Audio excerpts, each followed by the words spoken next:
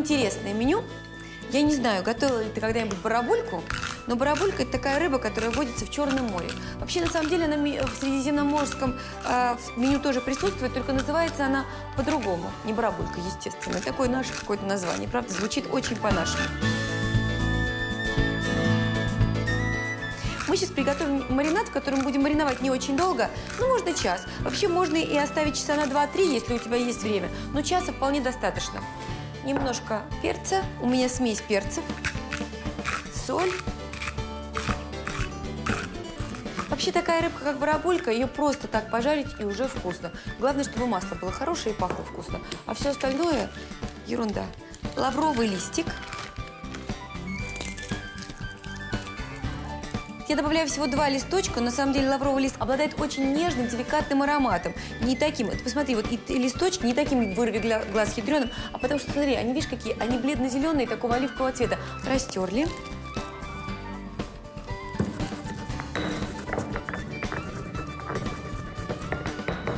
Но это еще не все. Цедры апельсина.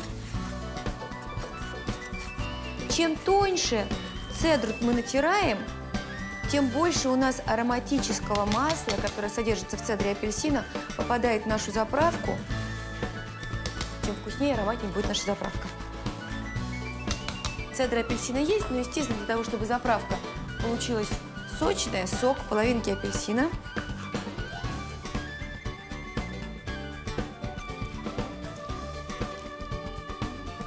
Сок половинки апельсина и столовая ложка оливкового масла Extra Virgin Olive Oil. Вот на его основе любая заправка поет и танцует. Просто класс получается. Берем нашу рыбку, барабульку. Прямо вот здесь оставляя на тарелке. Можно отправить, конечно, в какую-нибудь посудину, если тебе хочется. Вот здесь у меня, посмотри, такая острая иголка, которую я прокалила как следует. Вообще я ее использую на кухне, у меня такая нужна всегда иголка. Цыганская игла, то, что называлось раньше. Вот такие делаю проколы накалываю рыбку, чтобы не надрезать, потому что барабулька рыбка нежная, маленькая, чтобы не делать больших надрезов, как если бы могли сделать с такой рыбой, которая покрупнее. Но все-таки, чтобы маринад проник э, в плоть рыбы. Выкладываем на поверхность, перемешали маринад и маринуем.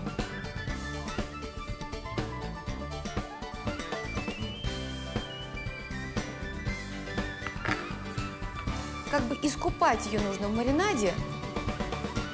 А там уже так мы дырочки сделали, то маринад сам свое дело сделает и без нашей помощи. Все. Выкладываем на тарелочку обратно.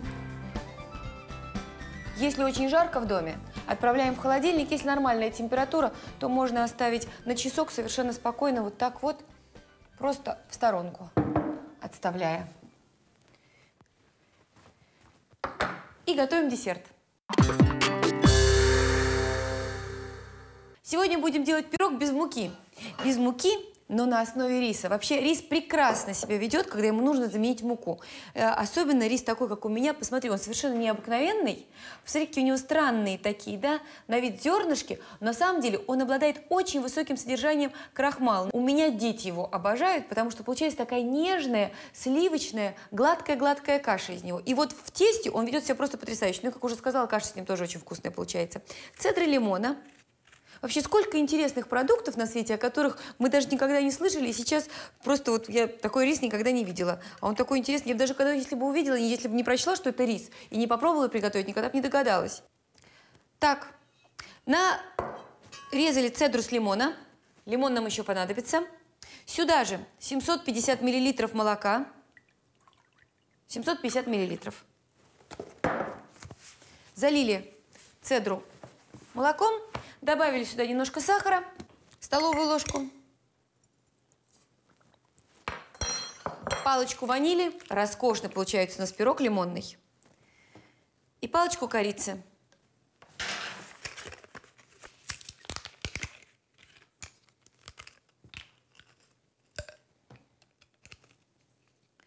Все, ставим на огонь и доводим до кипения.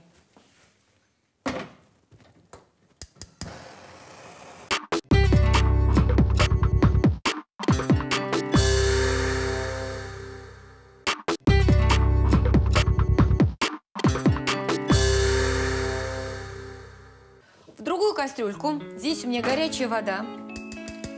Я ее прогреваю, тоже довожу до кипения. И вот ты видишь, это у меня сладкий картофель. Отварить его нужно, естественно, заблаговременно. Поэтому я разрезаю вот на такие небольшие кусочки. Сладкий картофель по вкусу похож на тыкву.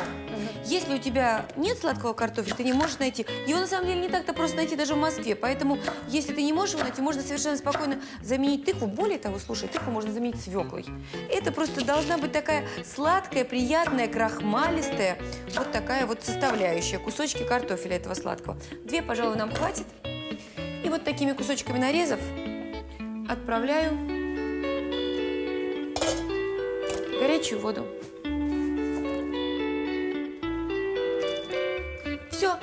Можно прикрыть крышкой и варить до готовности. Пока молоко у нас закипает, измельчим в пудру. Здесь у меня 120 грамм миндаля, чуть-чуть подсушенного, не зажаренного такого, знаешь, не пересушенного, а чуть-чуть, просто чтобы он был такой, ну, совсем сыпучий и хрустящий.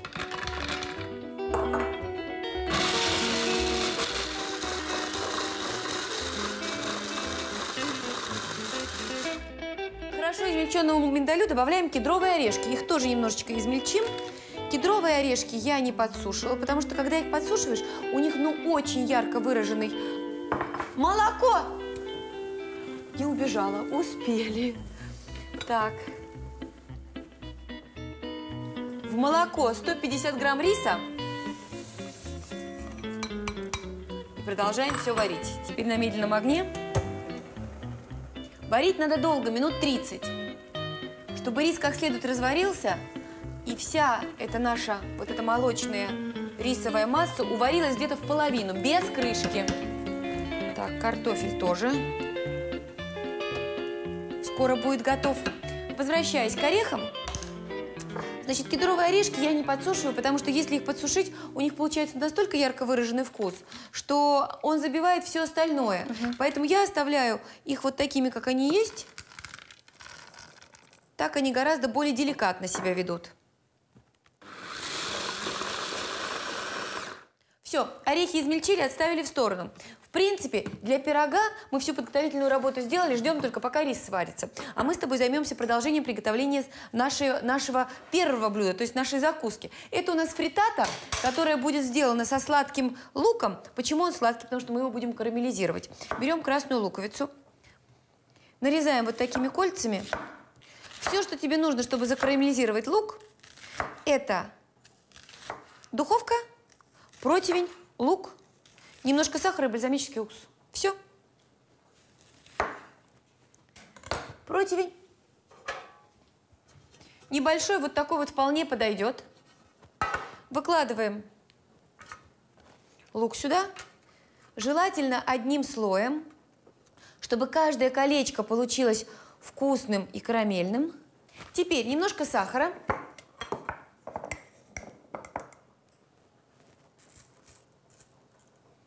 Соли.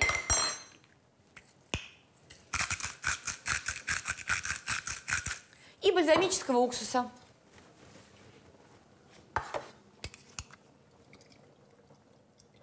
Бальзамического уксуса где-то 2 столовые ложки, так, чтобы лук хорошо был покрыт. Все, отправляем в очень горячую духовку или под гриль. Минут 5-7, максимум 10, и лук будет готов. Сейчас у нас картошка уже готова. Мы ее просто сливаем.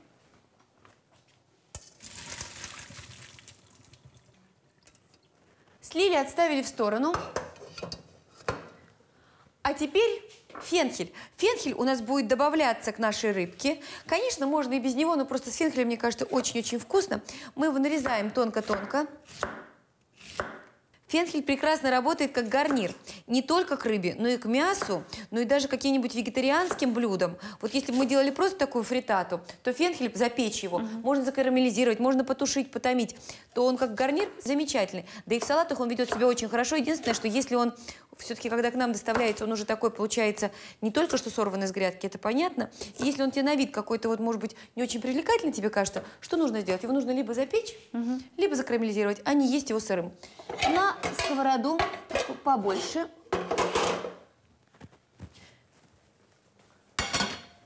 оливковое масло,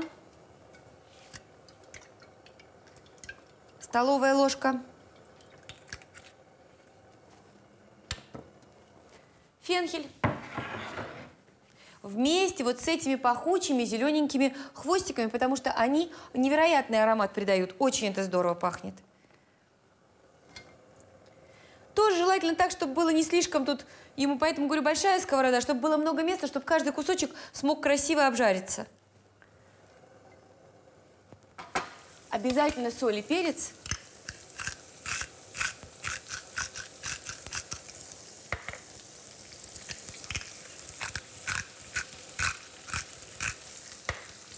И вот поворачивай, чтобы он, во-первых, маслом пропитался, а во-вторых, не пригорал. Вот посмотри, какой красивый, густой, замечательный рис у нас получается. Еще чуть-чуть, и он будет готов.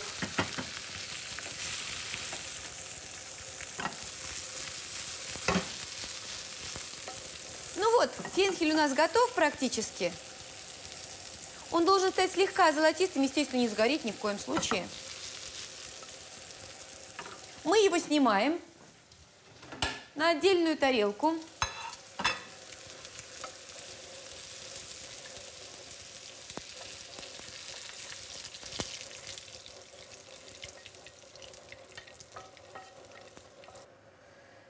Все, пенхель отставили в сторону. А теперь на том же масле наша рыба, которая пропиталась замечательно нашим маринадом. Еще немного масла.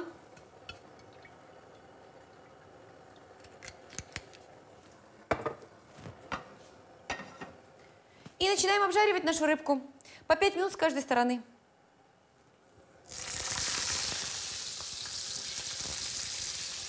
Чем хороша рыба, что она очень легка в приготовлении все-таки. Придумал, да, маринад какой-то? Абсолютно. И потом, ты знаешь, мне кажется, что э, рыба вообще прекрасна. Во-первых, конечно, рыба это очень полезно. Угу. И э, недаром рыбный день в нашем детстве существовал. И недаром средиземноморская диета во многом основана на рыбе, угу. на продуктах из моря. Так вот, рыба полезна, а во-вторых, действительно, ну, так, она так проста в приготовлении.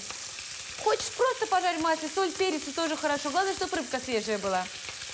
И доказано же, что те люди, которые больше едят рыбы, угу. тем они дольше живут, тем лучше себя чувствуют. Переворачиваем.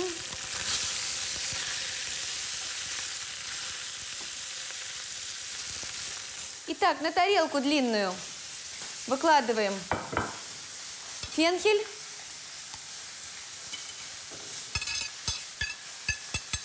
Лимончик.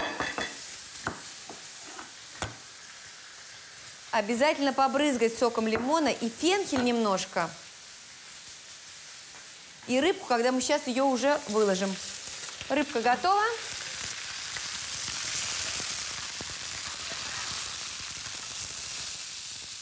А, красота. Ну вот. Какой быстрый воскресный обед, правда? Раз-два и готово. По-моему, она очень золотистая и красивая получилась. Сейчас быстро делаем фритату и садимся обедать. Вынимаем лук из духовки. Прошло не больше 15 минут. Посмотри, какой он красивый. А, красота! М -м, так пахнет карамель. О, чудо! Теперь Лук оставим в сторону, пусть он немножечко остынет, пока мы с тобой натираем на мелкой терке пармезан. Немного, нам понадобится 2 столовые ложки. Натертого твердого сыра. Если нет пармезана, я использую пармезан, потому что я люблю его пикантный вкус. Я вообще считаю, что он все равно король сыров, что бы там ни говорили. Пармезан у нас натерт. Это у меня фета. Но прежде чем я займусь фетой, мне нужна какая-то большая миска. Большую миску разбиваю. 6 яиц. На самом деле яиц надо взять столько, какая у тебя компания. То есть если у тебя большая-большая семья или много-много гостей, а почему бы не сделать такую закуску гостям? Ты знаешь, выглядит очень эффектно, очень просто готовится из простых элементарных продуктов. Я тебе уже говорила, что если нет сладкой картошки, ее можно заменить тыквой, а сейчас уже сезон тыквы, и все вообще это спокойно совершенно можно найти. Более того, ну можно и просто картошкой заменить. Конечно, такой сладости не будет, но зато с карамелизированным луком все равно тоже будет хорошо работать. Взбили. Посолили, естественно. Поперчили. Еще раз хорошо перемешали. Добавили сюда наш натертый пармезан.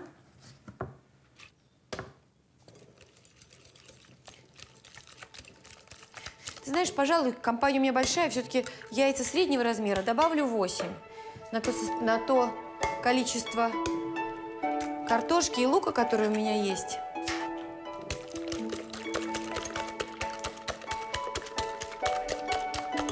Яйца оставляем в сторонку. Берем большую форму. Лучше взять такую, с которой можно, смотри, у меня есть раз, и ручка снимается. Если нет, то нужно взять просто такую форму, которую, или сковородку, которую можно поставить и на плиту, и потом в духовку. Итак, фета разломать вот такими небольшими кусочками. Раскрошить. На фету выкладываем наш закарамелизированный лук.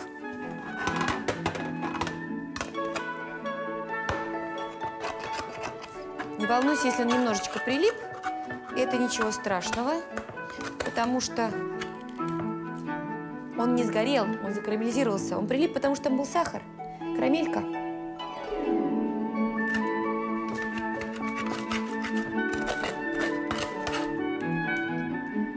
Разбросали наш лук. Теперь картофель.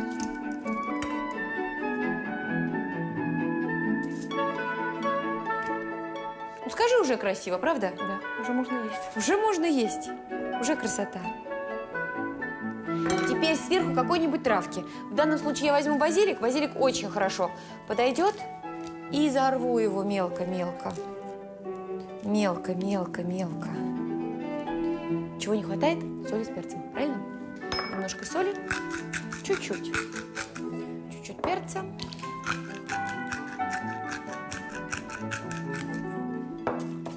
Залью всю эту красоту взбитыми яйцами с пармезаном.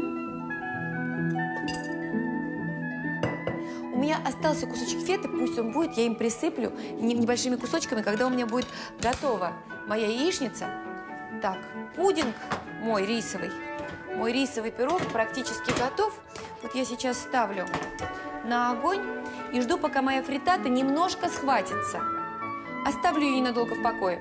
Итак, вот, посмотри, какая получилась у нас замечательная рисовая красота. Вынимаем палочку ванили и вынимаем палочку корицы. Все остальное можно здесь оставить.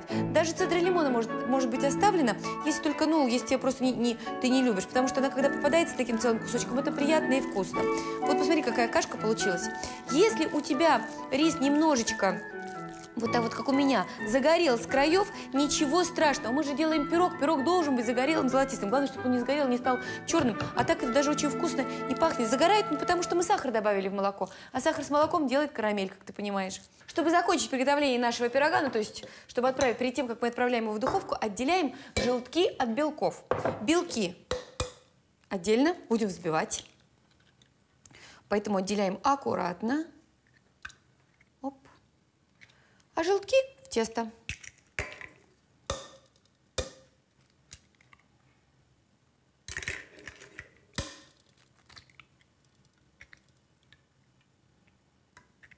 Четвертое, последнее яйцо.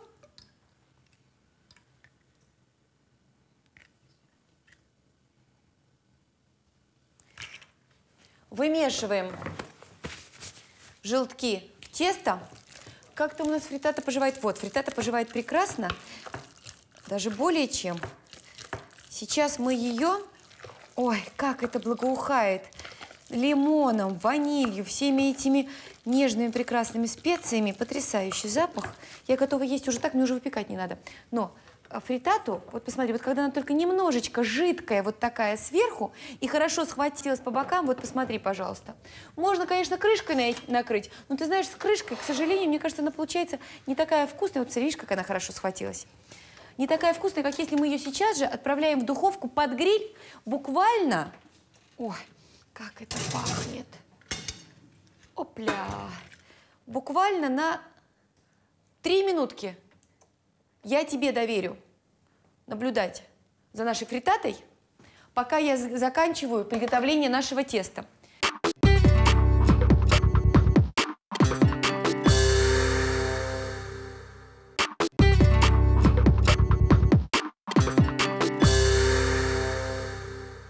Теперь сюда же добавляем сахар, почти полный стакан сахара, вот так вот, две трети. Ну, можно сказать, почти полный, можно сказать полупустой. Две трети стакана сахара, 150 грамм где-то. Сахар, соль, такие вещи, ты знаешь, тут на вкус и цвет. Кто-то любит очень сладенькое, для них десерт просто должен быть очень сладким, таким ядреным. Я люблю еле-еле заметный такой сладковатый вкус. Ты помнишь, мы взбивали орехи? Ну так они же мы для этого взбивали их.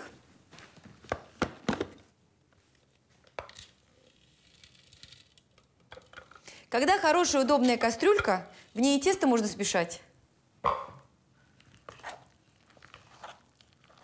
М -м, красиво? Очень, да. Чудесно, совершенно чудесно, необыкновенно. Белки взбиваем, естественно, со щепоткой соли.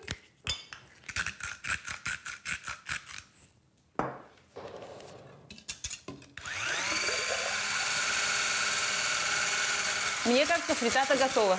Сейчас я ее выну. Сейчас вот одну. Можно еще подождать минуту, как ты думаешь?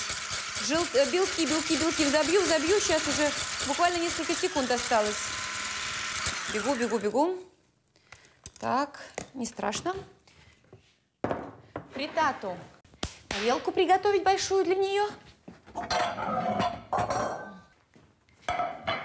Вынимаем. Посмотри, какая она. Ты абсолютно права, конечно же, она готова. А, пышная. Ты понимаешь, вот это под, конечно, под, ну, под крышкой в сковородке никогда этого нельзя добиться. Опля. Сняли. Присыпали еще немножко фетой сверху вот этими свежими кусочками беленькими. Она сейчас на горячем немножечко поплывет вот такими беленькими кусочками. Конечно же, немножечко зеленого базилика.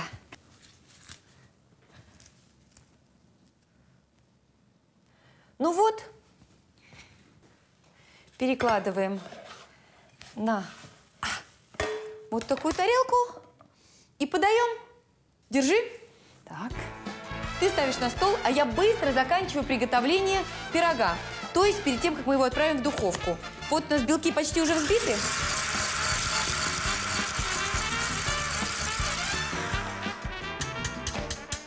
Белки прекрасно взбиты. Вводим их аккуратно. Сначала треть взбитых белков в тесто. Для того, чтобы тесто стало просто более жидким таким. Вообще в Италии это называется торта ди ризо. Рисовый пирог. Мы делаем манники, а итальянцы такой рисовый пирог. Возьмем разъемную форму, смажем ее небольшим количеством мягкого масла, сливочного или можно растительным смазать. Так, форма готова. Остальные белки добавляются в тесто. И теперь уже просто не, несколько движений быстрых.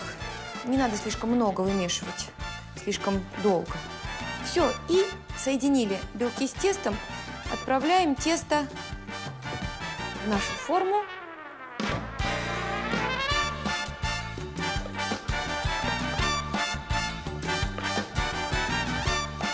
Температура в духовке 190 градусов должна быть. Выпекается пирог минут 40. Все, как раз успеем съесть фритату, рыбку и пирог будет готов.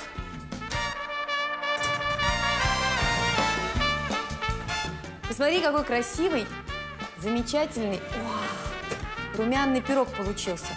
Его, конечно же, нужно остудить, потом выложить на форму. Можно присыпать его какими-нибудь пудрой, можно выложить на нем цукаты какие-то. Он очень хорошо. И к чаю, и просто с утра на завтрак. У нас, по-моему, сегодня с тобой все удалось.